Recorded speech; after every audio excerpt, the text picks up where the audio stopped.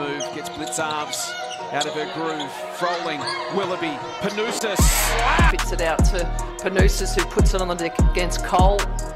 Panousis does well. Panousis. A lovely pass to Clark. Match up to watch. Transition triple for Panousis The move for the Flames.